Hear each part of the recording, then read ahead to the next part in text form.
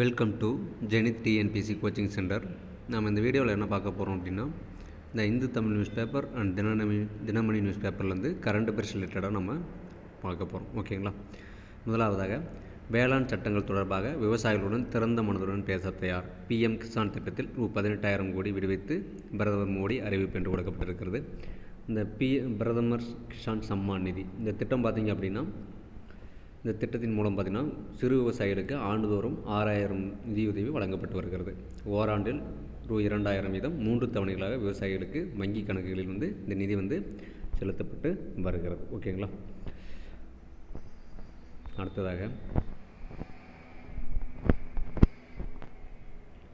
கடந்த ஓராண்டாக நிலவை சுற்றி வந்து சந்திராயன் டூ விண்கலம் சேகரித்த தரவுகளை வெளியிட்டது இஸ்ரோ அப்படின்னா. இஸ்ரோ வந்து கடந்த ஆண்டு வந்து பார்த்தீங்கன்னா சந்திராயன் டூ என்ற விண்கலத்தை வந்து நிலவை ஆராய்வதற்காக அதாவது குறிப்பாக தென்பகு நிலவின் தென் துருவத்தை ஆரா ஆராய்வதற்காக வந்து அனுப்பி வைக்கப்பட்டது. அதாவது நிலவின் தென் துருவத்தை ஆய்வு செய்வதற்காக இந்திய விண்வெளி ஆய்வு நிறுவனம் சந்திராயன் டூ விண்கலத்தை கடந்த ரெண்டாயிரத்தி பத்தொன்பது ஜூலை இருபத்தி ரெண்டாம் தேதி ஆந்திரா மாநிலம் ஸ்ரீஹரிஹோட்டாவிலிருந்து அனுப்பியது. ஓகேங்களா? சந்திராயன் டூ விண்கலம் எப்பொழுது மின்னில் செலுத்தப்பட்டது அப்படின்னு கேட்கலாம். ரெண்டாயிரத்தி பத்தொன்பது ஜூலை இருபத்தி இரண்டாம் தேதி என்பது. ஓகேங்களா? அடுத்ததாக வீடு கட்டும் திட்டம் புதுவை அரசு புதுவை அரசுக்கு மத்திய அரசு விருது என்று கொடுக்கப்படுது. அதாவது மத்திய அரசானது பார்த்திங்க அப்படின்னா மத்திய அரசில் உள்ள ஒரு அமைச்சகம் அதாவது மத்திய அரசின் வீட்டு வசதி மற்றும் நகர்ப்புற அமைச்சமானது ஆண்டுதோறும் பிரதம மந்திரி நகர்ப்புற வீடு கட்டும் திட்டத்தினை சிறப்பாக செயல்படுத்தும் மாநிலங்கள் மற்றும் யூனியன் பிரதேசங்கள் நகராட்சிகள் ஆகியவற்றுக்கு ஆகியவர்களுக்கு பார்த்தீங்கன்னா விருது வழங்கி வருகிறது.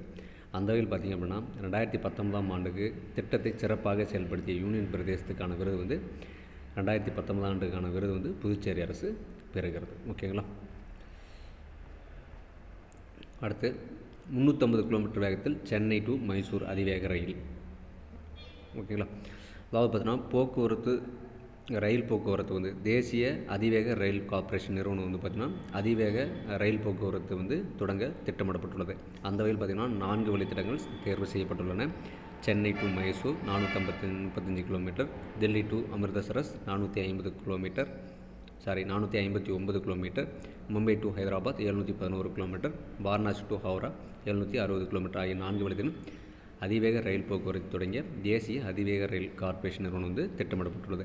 அந்த வகையில் பார்த்திங்க அப்படின்னா முந்நூற்றம்பது கிலோமீட்டர் வேகத்தில் சென்னை டு மைசூர் அதிவேக ரயில் வந்து தொடங்கப்பட திட்டம் இருக்கிறது அதோட மேப் தான் அங்கே கொடுத்துருக்காங்க பாருங்கள் இந்த மணிக்கு வந்து முந்நூற்றி ஐம்பது கிலோமீட்டர் வேகம் வந்து குறையும். பயண நேரம் வந்து குறைய வந்து வாய்ப்பு இருக்கிறது. அதே மாதிரி பார்த்திங்கன்னா இடையில் பார்த்திங்கன்னா சில ஸ்டேஷனில் மட்டும்தான் இந்த விரைவு ரயில் வந்து ஓகே ஃப்ரெண்ட்ஸ் நம்ம பார்த்த கரண்ட் அஃபேர்ஸ் ரிலேட்டடான குவிஸ் கொஸ்டின் வந்து டெலகிராமில் பதிவிடப்படும். ஓகேங்களா கண்டிப்பாக டெலகிராமில் குவிஸ் கொஸ்டின் அட்டன் பண்ணி பயன்பெறுங்கள். இந்த வீடியோ பிடிச்சிருந்தால் லைக் பண்ணுங்கள் கமெண்ட் பண்ணுங்கள் இந்த வீடியோ பயனுள்ளதாக உங்களுக்கு துணிச்சு அப்படின்னா உங்கள் ஃப்ரெண்ட்ஸுக்கு ஷேர் பண்ணுங்கள் தேங்க்யூ தேங்க்யூ ஃபார் வாட்சிங்